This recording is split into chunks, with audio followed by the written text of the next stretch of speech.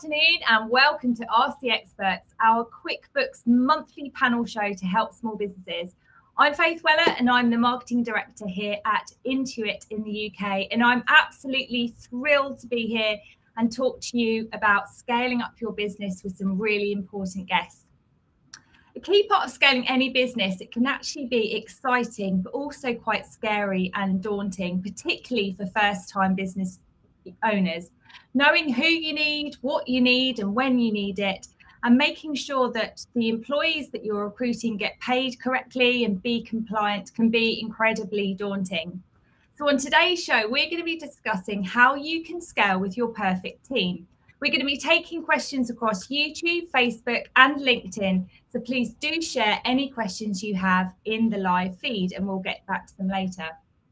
For me, I've recruited lots of people throughout my career, and I agree it can be a very daunting and stressful process. It's about whether you've got the right people, whether they're going to fit into the organization, whether they can scale up, are they going to be high performing, or are you're going to need to give them a lot of coaching. There is so much to think about. And in fact, um, I saw recently this week that Lee posted on LinkedIn about, you know, values being incredibly important for the people that you're recruiting is that person going to fit in with the team? And you know more importantly the company values. At cisco at, intuit our core values is stronger together. And this really does Im, Im, import the important the importance of diverse voices and really getting everyone heard across the organization. And we believe this also does apply to building out your teams as well we also know as a small business owner, there is so much admin that you have to think about. You have to think about your national insurance, your P45, pensions, payments, and all of that. But at the heart of it is about the people, their lives, and their families. At QuickBooks, we provide a payroll solution that integrates into your accounting software. And more information can be seen about this in the chat if you would like to find out more. Now, for the main event to chat all things building teams, um, scaling teams, high performance teams. We have three fantastic guests here today. They are Sabrina Stocker, and she's founder of Two Comma PR. Carina Lepore, managing director of Dough Artisan Bakehouse, and Lee McQueen, founder and CEO of Phoenix 51. Thank you so much for being here and helping us fi- find out more about how you've built out your workforce and your high performing teams. So, to kick things off, I'd love to hear from you, Sabrina, a little bit about your business and how you got started. Thank you so much, Faith. And good morning for anyone, or good afternoon for anyone tuning in. It's great to be here. Um, so a little bit about uh, my first ever business. I was 21 years old. I was running a tennis events company, and I, I guess talking firstly about how I really started and brought my first employee on was scary. It was really scary because of the amount of responsibility. It wasn't something that I could make a decision and go back on. Um, and having this first tennis tournament company, I had to make sure that my cash flow was up. I had to predict around three to six months in advance to make sure I had cash reserves in case anything went on. But I was thinking, okay, who is my first hire going to be and what can they bring to the table? And being an early, early startup, my first question was who else could make me make some money? That was my first question. My second question was how can this person help me bring in some time?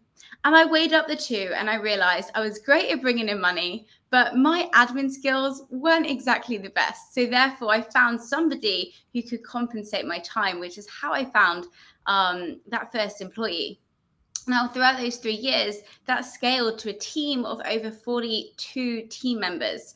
Um, and we had loads of events going on. My current company has around 30 team members. And it's really, really exciting having think, okay, four or five years ago, I was hiring my first ever person and being able to scale, to find, and to retain a team has been a really incredible journey. That's brilliant. It sounds like you've scaled up really quickly, and hopefully, we can get some more tips from you uh, in, in, shortly. So, Carina, how about you? Hi, uh, similar message uh, from Sabrina there. So excited to be here and uh, looking forward to the chat we're going to have soon. Um, so, yeah, managing director of Dough Artisan Bakehouse. mine's a slightly different story from the start. So back in 2018, um, we founded Dough Bakery, but it's more i started with my dad and my sister.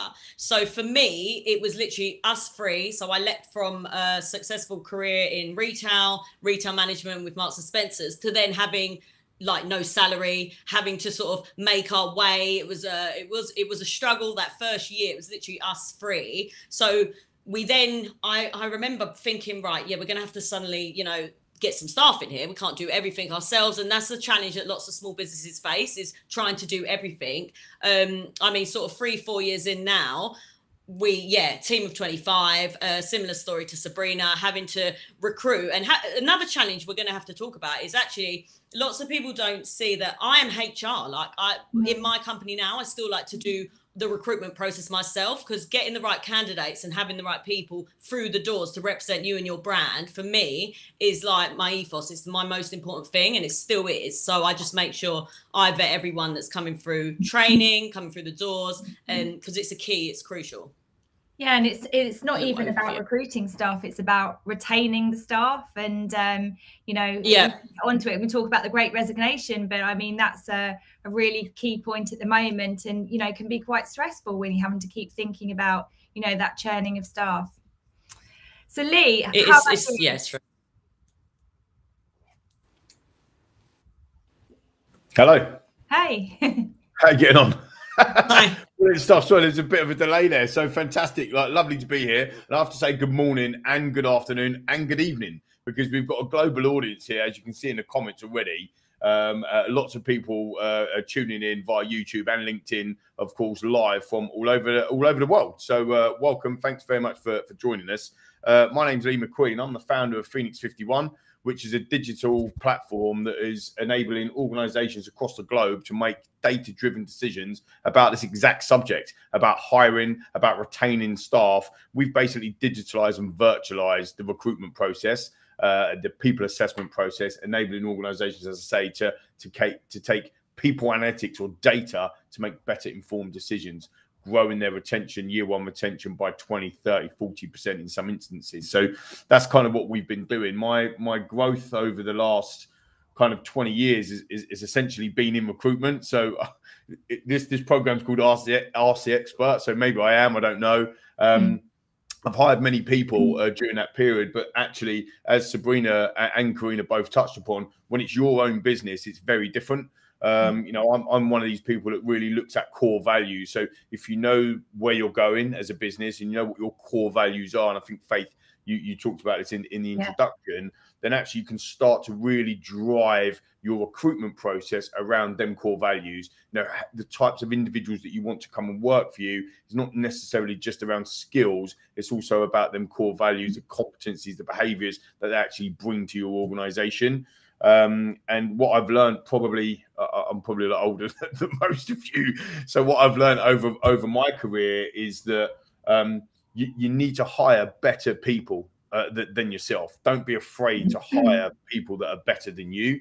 Mm-hmm. Um, we've scaled our team pretty quickly. I mean, I, I was actually um, very, very, similar to Sabrina and Carina um, in terms of uh, thinking about how many people we've got. We've actually got 34 people that are either work or, or, or involved in the business at Phoenix 51, and we only launched in September 2020. So crazy scale up, it's actually going on in, in our world. So hopefully, I can uh, give you some advice and guidance on uh, if you if, if any of the audience and the viewers and the listeners are in the same boat. Brilliant, and I love I love what you said. I mean, I always say you're only as good as the team beneath you or, or, or, the team that you have. That's the only way that you can be successful. Um, Lee, you talked a lot about hiring. Um, and so I just wanted to ask Sabrina, what was your experience of hiring your first employee, if you remember it? I do remember it vividly. I remember sitting um, at a coffee table in one of the big gyms within the UK, and I had about eight different people come in. And I was thinking, you know what? I need a friend. And you know, I was pretty young at that time. So I was like, Ellie, come over quick. I've got to hire somebody. So she sat down with me, my best friend at that time, and we both interviewed. We had absolutely no idea what we were doing. Um, and the first employee is actually probably my core employee that I, I wouldn't even call him employee, I'd call him a, a, a friend really now and a partner. And he stayed with me through multiple different companies and he's helped me launch different companies because we work really really well together. But it all started from trying to figure everything out. But something could have stopped me doing that as well. I could have thought you know what? I'm not ready. And i pushed it back for months and months and i should have hired a lot earlier. But it was this limiting belief of i'm 21 years old and i'm paying somebody a salary and they're going to be reliant on me. Yeah. and it was actually that feeling of okay, how do I sit down with somebody? And a lot of the time as well, I found everyone I was interviewing was older. They were 25, 30, 35. So it was also getting over the little bit of intimidation I felt at the moment of thinking somebody who has got more experience potentially is going to come and join my team. But very, very quickly, I found actually they're not buying into a salary and they're not buying into having a job they're buying into working with me and building something together. And it was when I could find that ethos, I thought, yes, I found the person that I want to have some mm. fun with and I want to really enjoy doing this with as well. Yeah, absolutely. I, I can definitely resonate with that. Carina, have you got anything to add on to Sabrina's comments? Oh, I think you might be on mute, Carina. Uh, or your sound might have gone. Okay, well, let's see if we can fix that.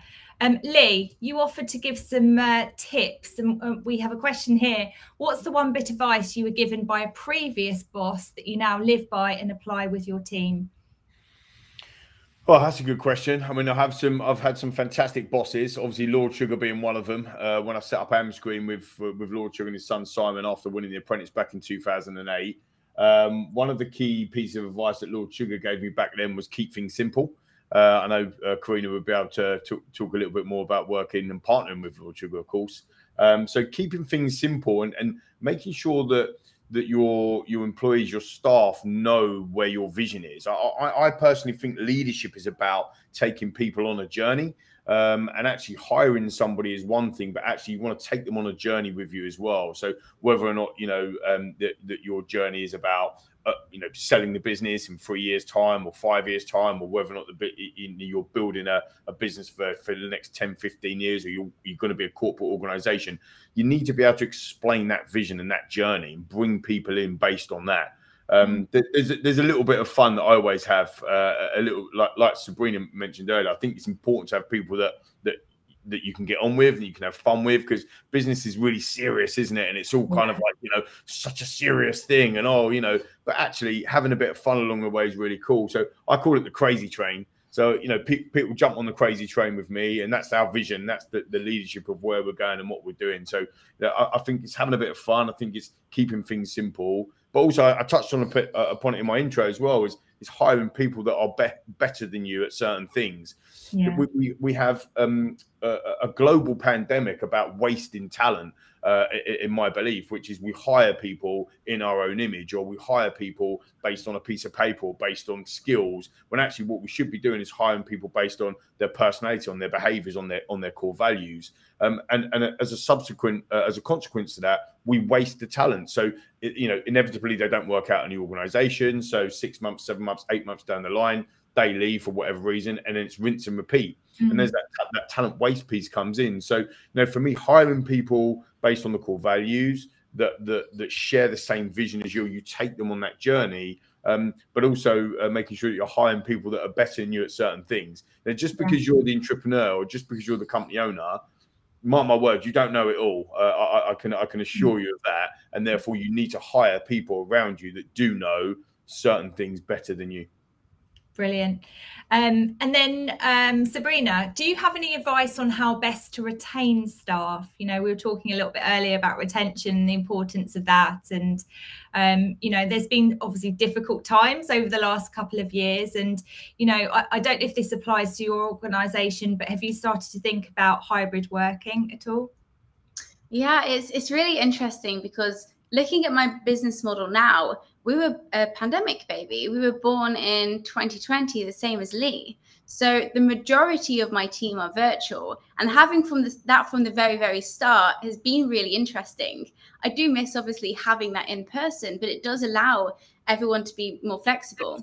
In terms of retention, it's probably my favorite topic, and that ultimately means they like why you hired them.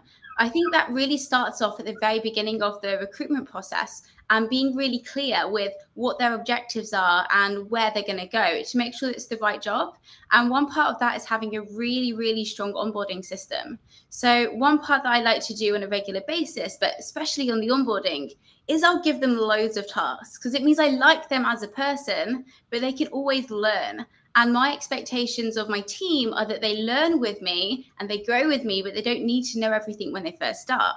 So I test them on different areas, and we have a very, very simple Excel spreadsheet. We have the 20 different tasks that they've done, and I say, traffic light system, green, orange, red. What did you love to do? And I put that as green. Orange means it was okay and I can do it, but I just, I will just do it if I need to.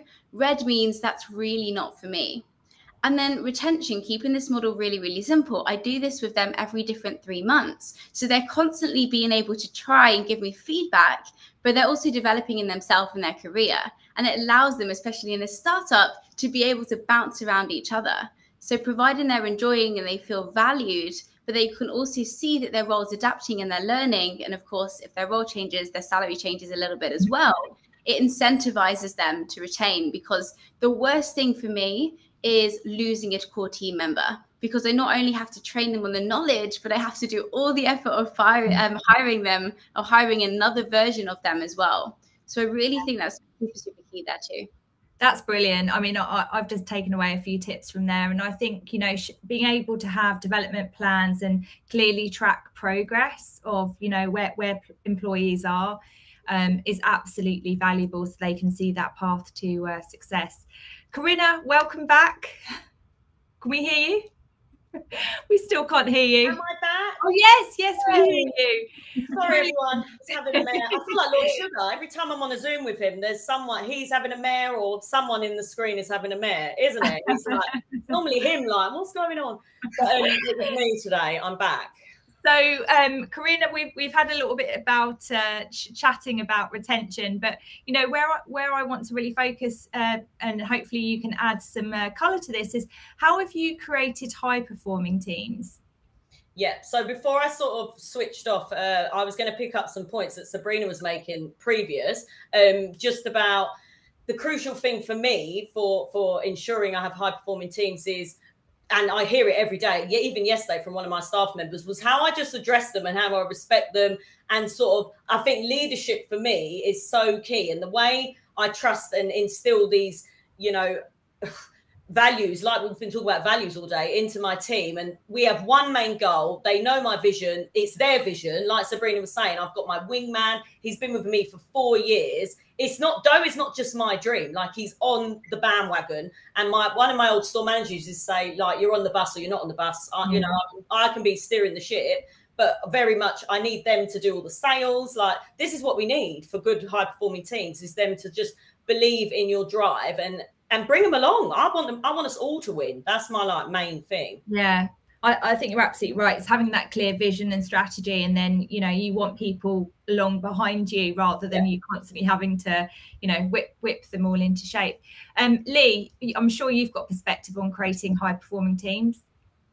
Well, I mean, Quinny just uh, said about getting on the bus. I was just talking about getting on the crazy train, right? So it's a, yeah. it's a similar metaphor. So, yeah, for sure. I mean, I think I touched upon it earlier. You know, creating high performing teams is, is about the vision and making sure that the people that you're hiring believe in that vision. when, I started this, my second business, Raw Talent, 10 years ago, it was a recruitment business based on not hiring on a CV because ultimately a piece of paper can't tell you how people react. It, it, it cannot tell you how, uh, how, people handle pressure. It cannot tell you how people are going to uh, perform in that, in that role. So we made a, an assessment based recruitment organization, which is very similar to the apprentice, right? Three, three of us uh, out of the four of us here have been on the apprentice journey. And the apprentice journey, really, the BBC TV show, for, for, for those of you uh, don't know, um, is a giant assessment center, right? It's every week they're watching, they're looking, they're observing to see whether or not you've got the right skills, the right attitude, the right behaviors.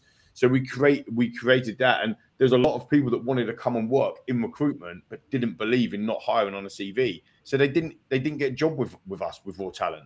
So it's mm. really important that they believed in what we were doing. And if they don't believe in what we were doing, regardless of how good their qualifications are, how good they were as an individual, if they didn't believe, then they didn't come on board. They, they didn't get on board the crazy train. Does that make sense? Yeah. So Yeah, it's really absolutely. important that high performing teams are because we're all working to one one core value or all Yeah. working one particular goal and that's where you can get the best out of your uh, about uh, of your team. I just want to touch on if i can now my first ever hire in Raw Talent the, the recruitment my second business that i started um, was a guy called ash holmes. He stayed with me for seven years. Uh, I, I think he had six different promotions during that period of time and i hired him because i knew somebody that knew him and that was Right.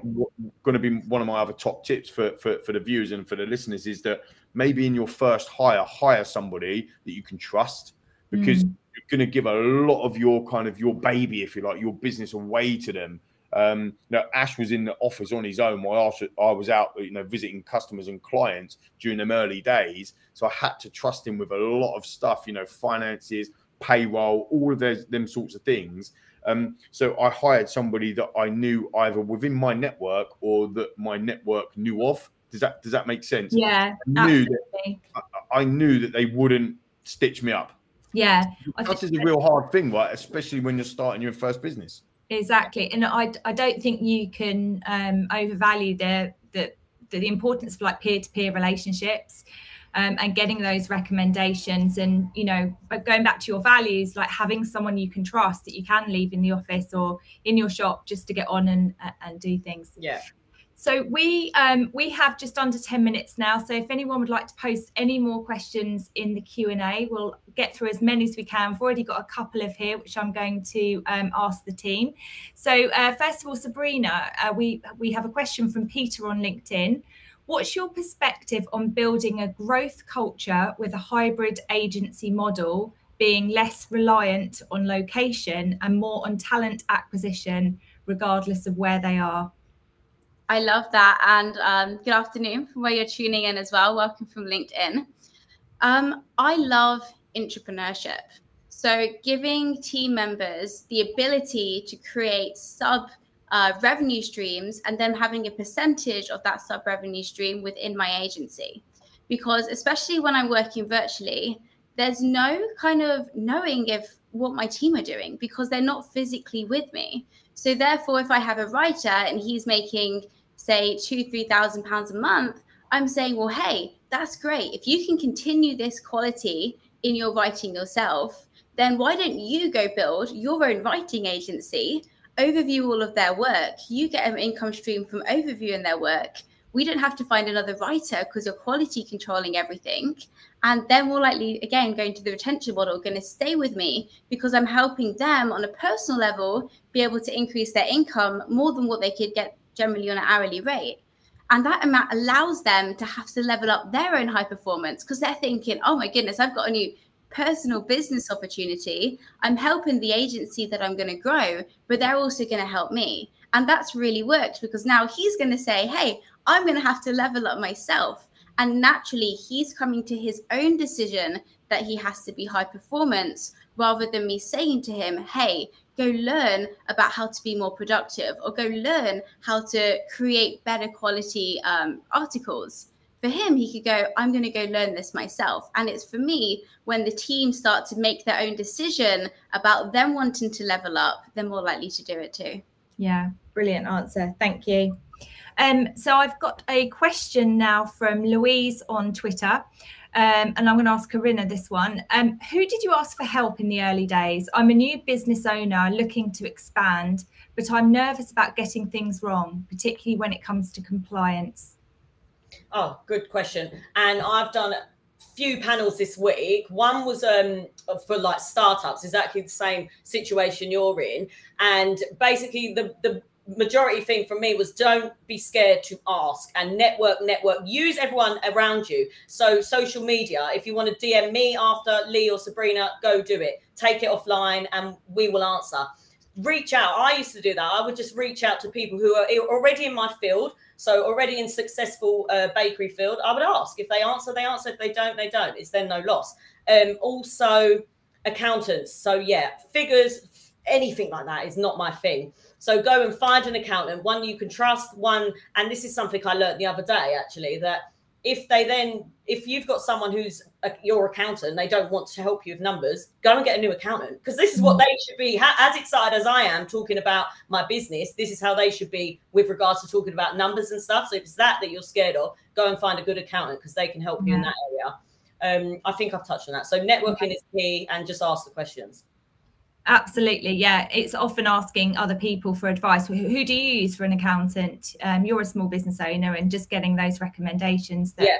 we yeah. hear a lot. All right, one for you, Lee. Then, um, Carly on Facebook, she's asking, do you think it's better to employ people directly or work with teams of freelancers or agencies? When is the right time for each?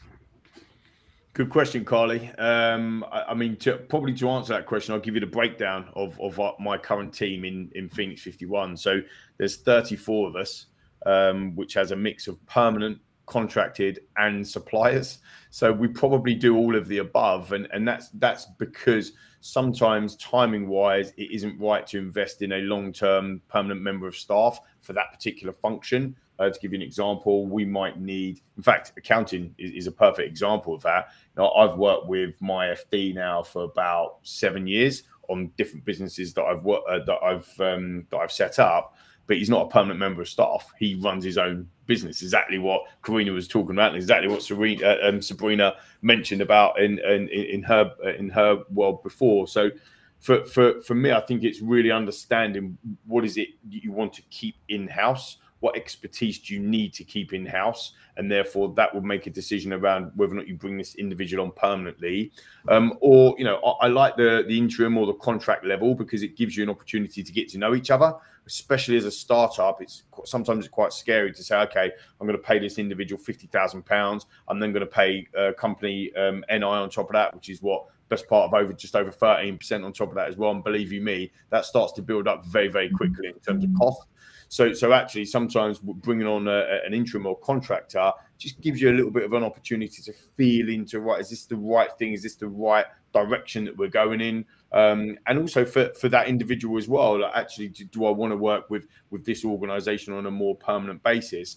So, what we've done in the early in the early times, in the early days when we didn't have any cash, um, because we set up from from obviously from scratch in a global pandemic, we started to what I'd say beg and borrow. So ask people within your network, oh, could you come and do a bit of work for us? This is what we've got, and really get experience in, but on a kind of a half a day a week or one day a week scenario rather than that having to hire a 150 200,000 pound a year candidate yeah. you can actually bring them in and have them on, a, on an interim basis so Carly to be fair it, it does depend on that situation um, of, yeah. of where you are at the moment Brilliant. Great answer. Right. 30 seconds from each of you. I'm going to ask you a, a question. Uh, Kate asked this from Instagram. What's what's the best part of being an employer in your opinion? So Carina, over to you. 30 seconds. Oh, 30 seconds. Um, yeah. Best part of being an employer, oh God, meeting new people, seeing the passion and drive that candidates that come through my doors have. Um, see, seeing for me, because I'm hospitality baby, and seeing customer service. When I have a customer give me feedback about my employees, that it's done it for me. That that's like a big big tick. So yeah, that's Brilliant. my sort of thing. Lee, uh, seeing the growth, see, seeing yeah. them grow, you know, um, you know, br- bringing people into an organisation with potential um, is something that's really close to my heart. And every, in all the businesses that I've set up or, or, or started, and actually seeing them grow. So actually coming yeah. in at this level, and then if they leave, then they leave at this level, or they progress. I already mentioned Ash six promotions, um, you know, and so on and so forth. And giving people, seeing them earn and work hard to get where they want to get to under our leadership is very rewarding. Brilliant. Thank you. Sabrina. Um, amazing question. Mine would say to see them grow on, an emotional level. So not only are they helping build something exciting and fun, which is obviously great, but seeing them get more confidence, seeing them have their levels of self-esteem, self-assurance, them coming up with new suggestions, them being new innovative, that's so exciting because it means that they're leveling up their mindset. And that's not just with the business, but that's holistically. They make changes in their relationship, in their life, in their health choices. And I think on that holistic whole, it's amazing and, and really inspiring to see. Brilliant. Thank you. Thank you all. Thank you everyone for tuning in. If you have any more questions that we do have an, a Facebook uh, page that's 24 7 where we have accountants and business owners, business experts answering questions. And I think you had a, a, few free offers of help from these three today. If you are looking for a payroll solution, a reminder to check out QuickBooks Payroll, which fully integrates into QuickBooks. So I just want to say a big, big thank you to our guests today, Sabrina, Carina, and Lee, and everyone that's tuned in. We've really enjoyed today's panel. Thank you very much and have a lovely day.